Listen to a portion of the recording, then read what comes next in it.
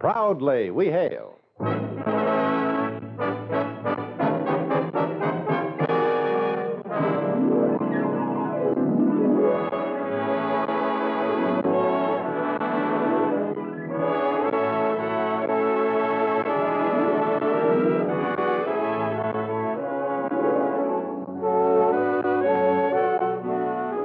From New York City, where the American stage begins, here is another program with a cast of outstanding players. Public service time has been made available by this station to bring you this story, as proudly we hail the United States Army.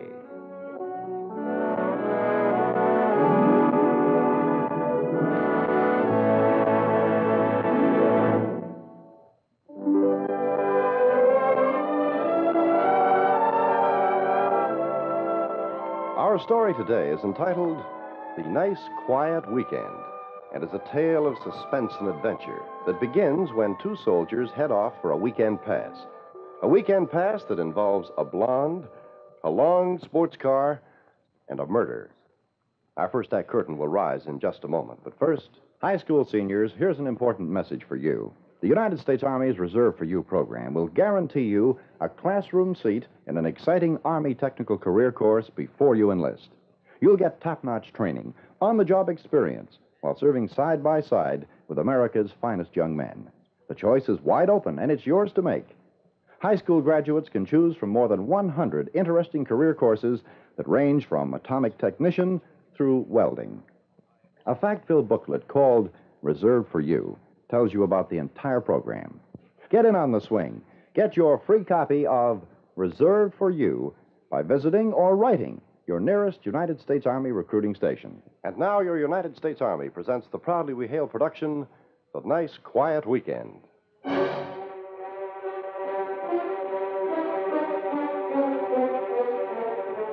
I want to tell you about a certain weekend. The one my buddy Bert Maney always calls the um, nice, quiet weekend. Me?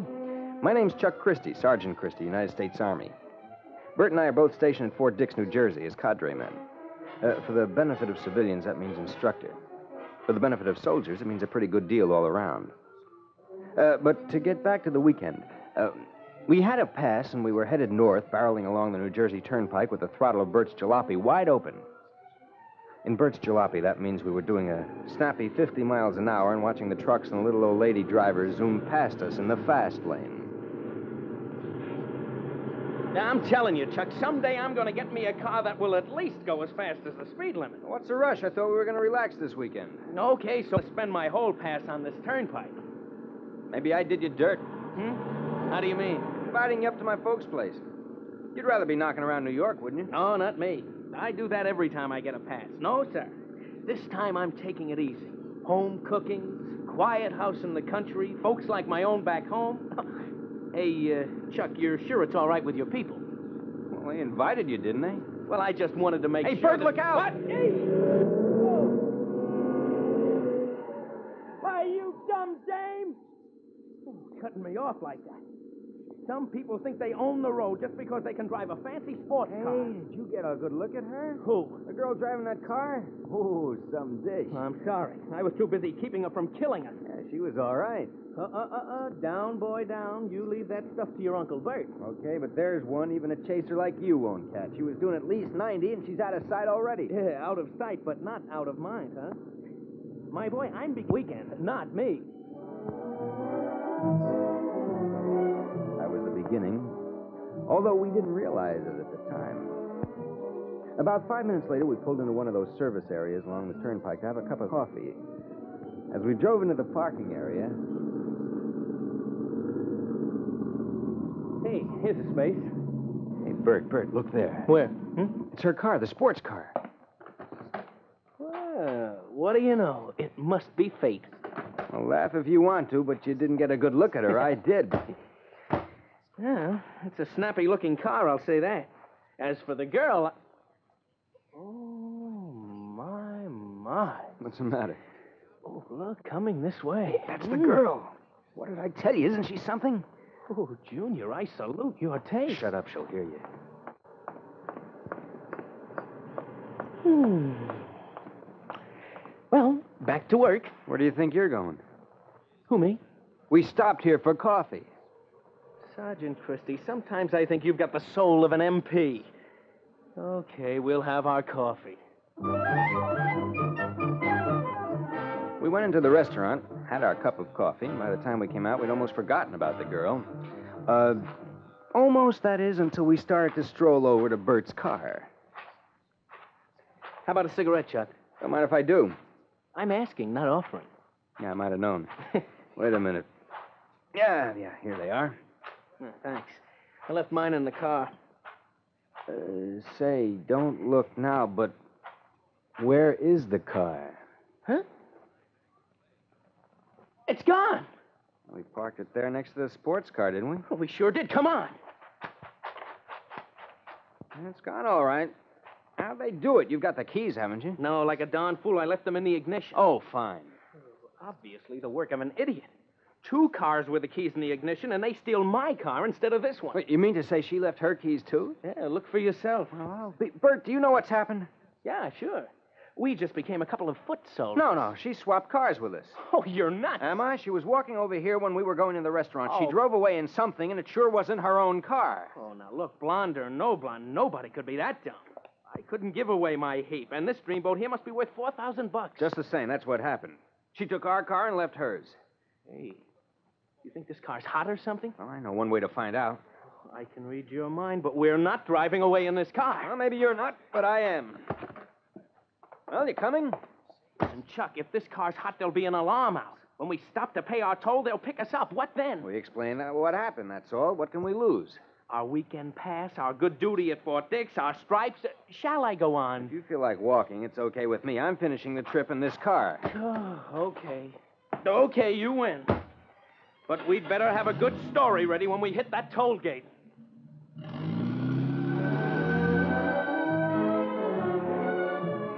Turned out, we didn't need the story when we hit the toll gate. Every time we passed a police car, I had to resist the impulse to throw up my hands and agree to go quietly. But no one paid the slightest attention to us, and we made it all the way home.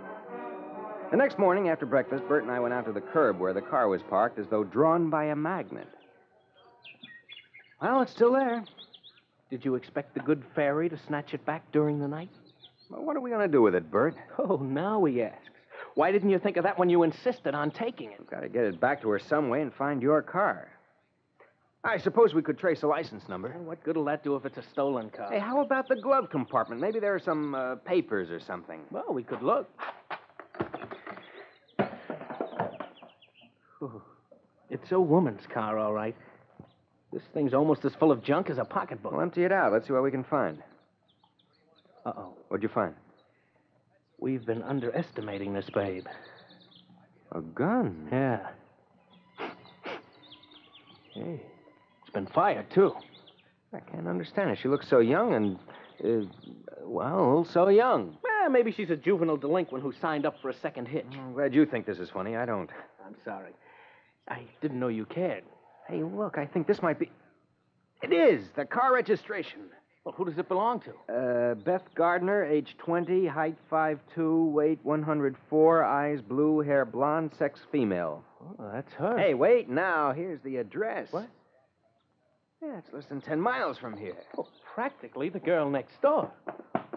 Well, come on. Where you going? To return her car, of course. Oh, now hold it.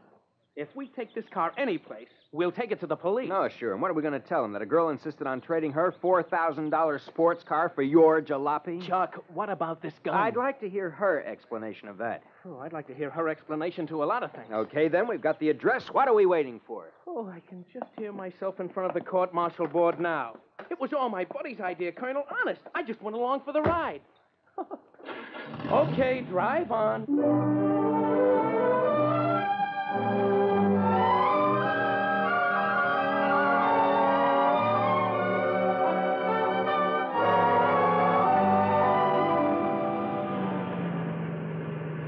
See now. Uh, 623. Must be in the next block. Hey, there she is. The girl? Where? No, no, my jalopy. Look, parked right up there. Hey, that's it. That's her house. I'll pull up right behind. Well, don't just sit there. I'm coming. Get that gun out of sight. Oh, sorry, General. Any further orders? Knock it off, will you? Hey, it's a nice looking little shack. I wonder if she lives alone. She must be home with the car parked outside. Hey, uh, Chuck, how do we open the conversation? Shall I say, uh, Miss, uh, would you like to buy a hot pistol? Keep that gun out of sight until we're ready for it. okay, okay. shh, shh, shh. Here she comes. Yes? Uh, Miss Gardner? Who are you? The United States Army. What? Uh, my buddy's a comedian. My name is Sergeant Chuck Christie. He's Sergeant Bert Maney. Charmed. What is it you want? We brought back your car. We'd like to get ours. Oh. Oh, yes. I, uh, just a minute. I'll get the key. Uh, uh, hold it a minute. Don't you think we have an explanation coming to us? I'll get you the keys, Sergeant. Oh, man, have you ever got her twisted around your little finger? Never mind. I'm not leaving without the explanation. Oh, sure, sure. Here are the keys. May I have mine? Oh, certainly. Uh, that is, as soon as we get that explanation. I don't think I owe anyone an explanation. Now, Sergeant, may I have my keys? You stole our car on the turnpike yesterday. Well, I left you mine.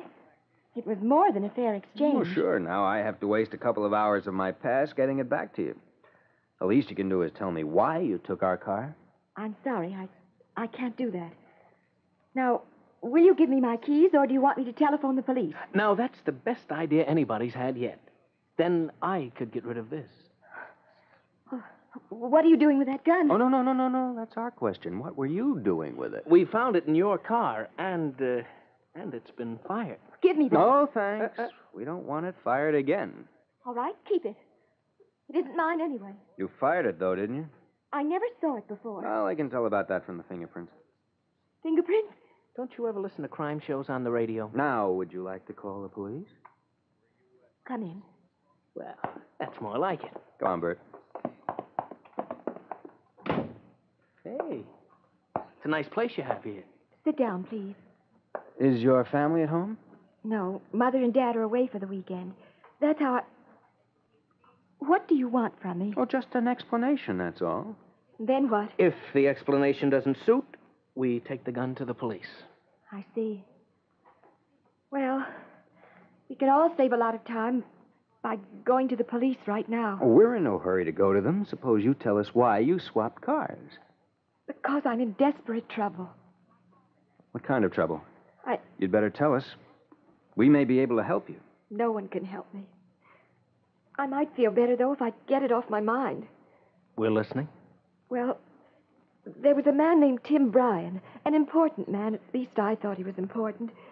Mother and Dad didn't like him, and they finally said I was never to see him again.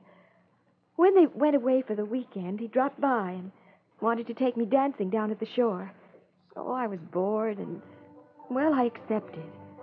We went down in my car, and we danced for a while, and then he took me to meet a friend of his, a man who had a small place down there.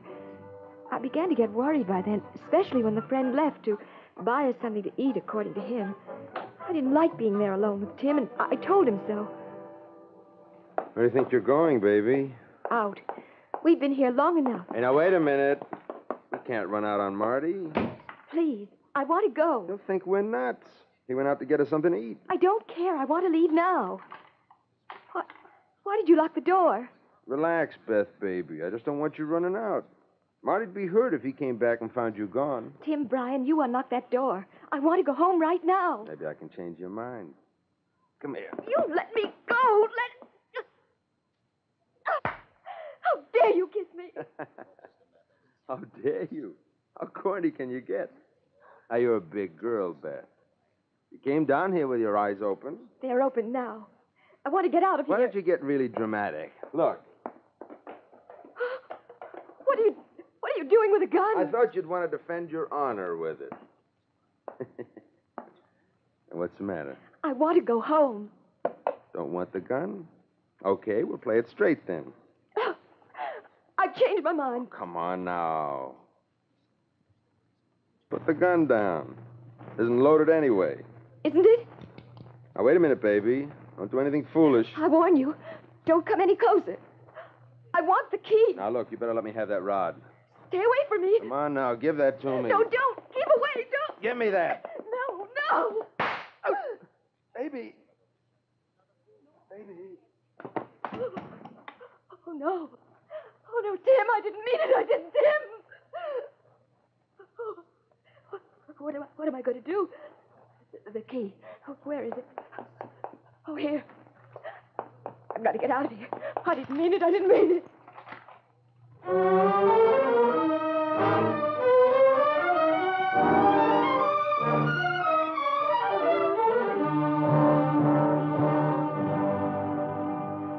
I didn't mean to kill him. I didn't even know I still had the gun in my hand until I got into the car. After that, I, I don't really remember what happened. I must have driven around all night. Then, sometime yesterday, I, I decided to get home and try to think what to do. What about our car on the turnpike? I stopped at the service area for gas when I, I spotted this man, Marty. I had the wild idea he'd been following me. I saw your car next to mine with a key in the ignition. I took it. Now you know everything. You mean now we've heard everything? We start out for a nice, quiet weekend, and we wind up as accessories to a murder.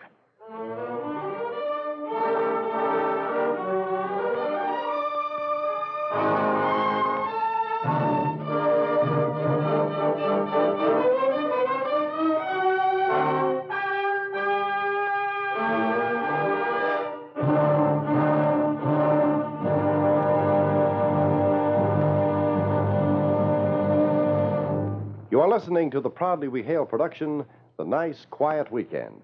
We'll return in just a moment for the second act. High school seniors, ensure a secure, well paying future by preparing for it now. The United States Army's Reserved for You program will guarantee you a classroom seat in an exciting Army technical career course before you enlist. You'll get top notch training and on the job experience while serving side by side with America's finest young men and women. The choice is wide open, and it's all yours to make. High school graduates can take their choice from more than 100 interesting courses. Everything from atomic technician to welding. The fact filled booklet reserved for you tells you all about this program. You'll learn of many other fine Army benefits, too, like regular pay increases, promotions, exciting travel assignments, and unbeatable leisure time activities. Get in on the swing. Get your free copy of Reserved for You by visiting or writing your nearest United States Army recruiting station. You are listening to Proudly We Hail. And now we present the second act of The Nice Quiet Weekend.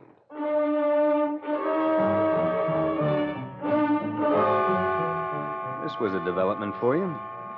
Here were Bert and I sitting in an expensively furnished house listening to a beautiful girl confess to a murder. To tell you the truth, none of us knew what to do next. We just sat there until the silence was shattered by the ringing of the telephone. You better answer it. Suppose it's the police. Don't say a word until you've talked to a lawyer. A lawyer can't help me now. Hello? That you, Beth?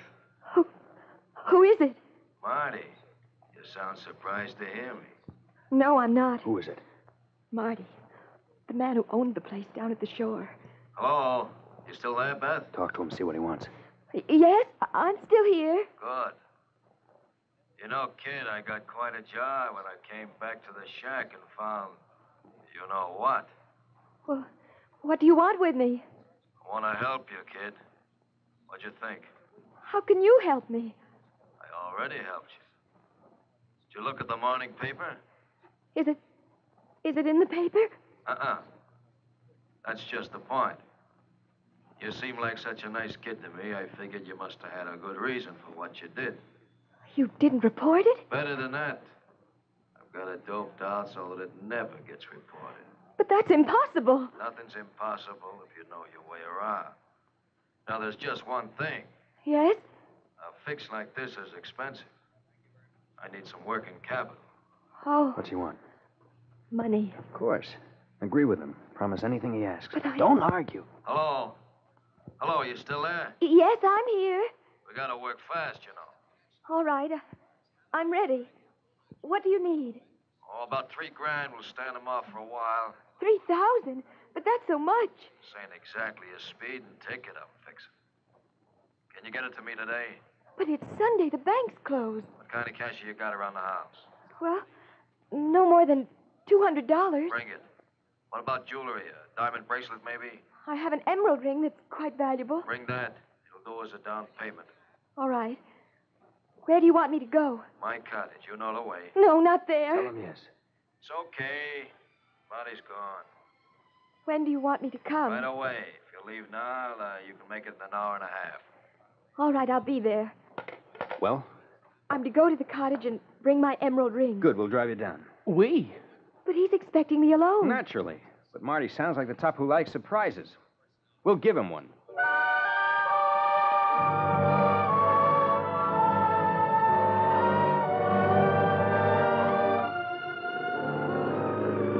What's the matter with you, Bert? You haven't opened your mouth since we hit the turnpike. Oh, my first sergeant told me there'd be weekends like this. I should have listened to him. I feel awful about this. I should never have dragged you into my troubles. Well, I uh, never contradict a lady. Chuck, I want you to turn the car around right now. I'm not going to let you two get involved. Sorry, we're not allowed to turn around on the turnpike. Well, sure. Do you want to get us into trouble? Besides, I don't know what Marty will do when he sees me show up with two soldiers. Guarantee you one thing, he won't go to the police. Then, then what will he do? We'll worry about that when we get there. I hate to put things off. If you don't mind, I'll start worrying now. Well, you won't have to worry long, Bert. We should be there in another 15 minutes. It's nice to be right about one thing, anyhow. We were there in another 15 minutes. Marty's cottage was about a 100 feet back from one of the main highways that lead to the ocean. As we pulled up and stopped, things looked pretty quiet around the place. Is this the right place? Looks deserted. I'll knock at the door. You and Bert can wait here, Chuck. Spoil the surprise? Come on, Bert. Okay, uh, but this time I'm taking the car keys.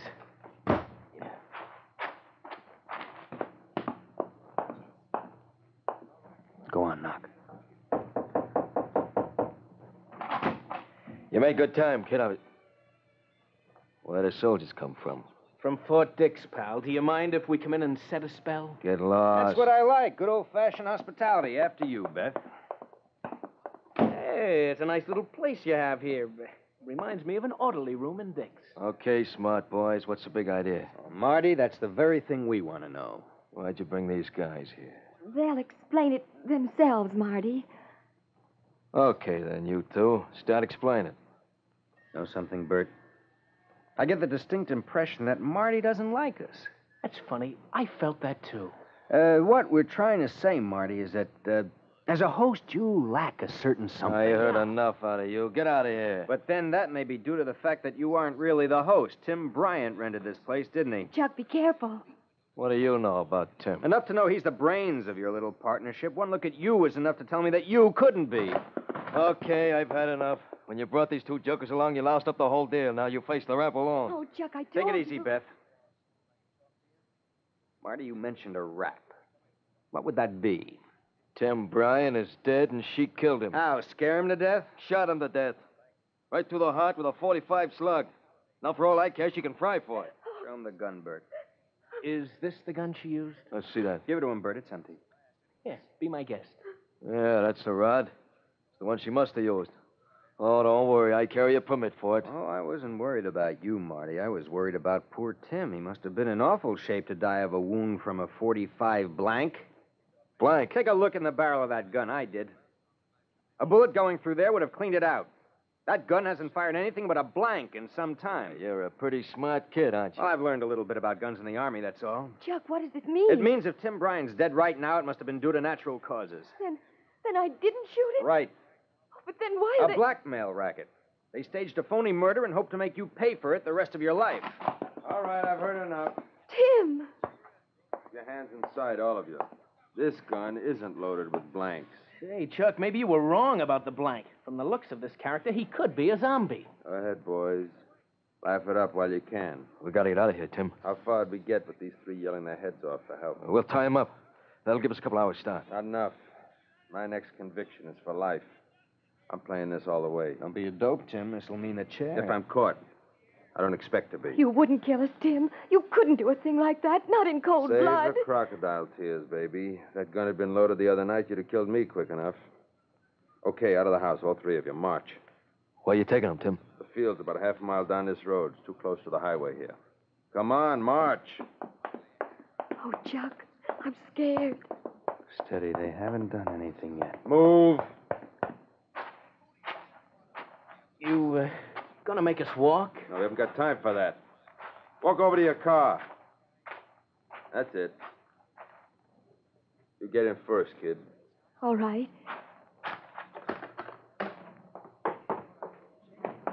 Uh, hey, stop leaning on that horn. I'm not. Short circuit. Quick, Marty. This will get the whole neighborhood down on our necks. Lift up the hood, break the wire. Hey. Watch his eyes, Bert. When he looks toward Marty, got you.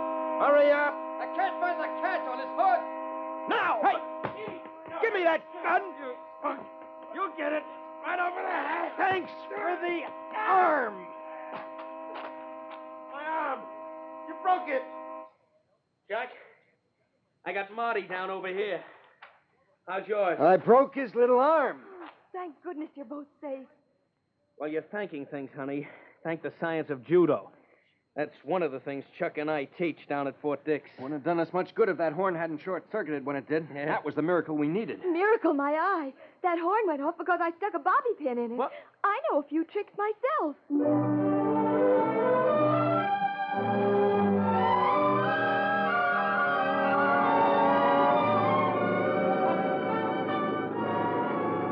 Ten more miles and we're back at Dix.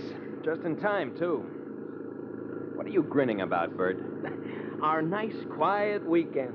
Home cooking, nice, quiet house. what was all that stuff I said? I'm sorry, but how did I know it was going to turn out that way? That's okay, Chuck. Don't apologize. Only if we can wangle a pass next weekend, you can come with me.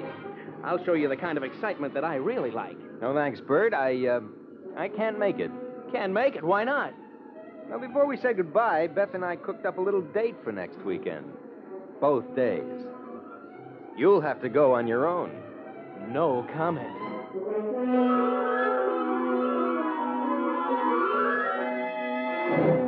Career minded young men and women, now is the time to check on the Army's new Reserved for You technical training program.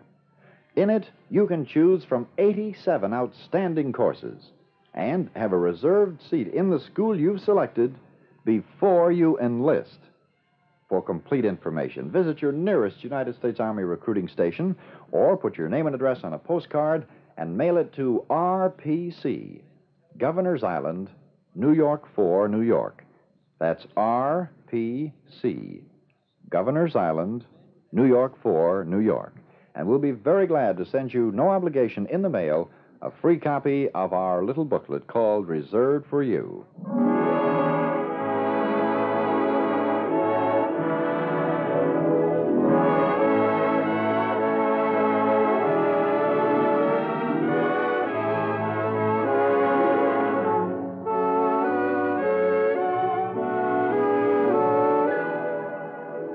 This has been another program on Proudly We Hail, presented transcribed in cooperation with this station.